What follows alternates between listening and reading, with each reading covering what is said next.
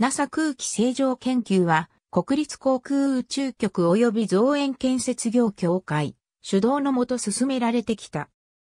その結果、屋内の観葉植物が空気中のベンゼン、ホルムアルデヒド、トリクロロエチレン、キシレン、トルエン、アンモニアなどの有害物質を自然に除去し、シックハウス症候群の抑制に一定の効果をもたらすことが判明した。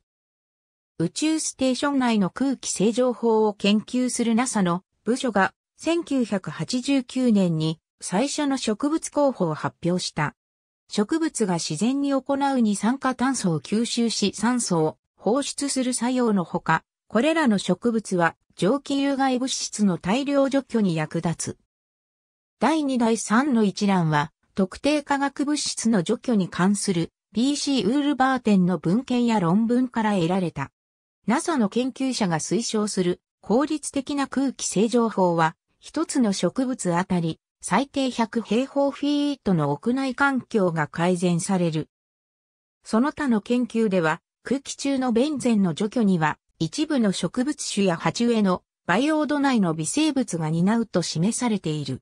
アンスリウムアンドレアナム植物一覧の多くは、熱帯や亜熱帯環境で進化してきた。これらの葉の組成は、不十分な日光の下で繁茂でき、伝統でもある程度の光合成ができる。ありがとうございます。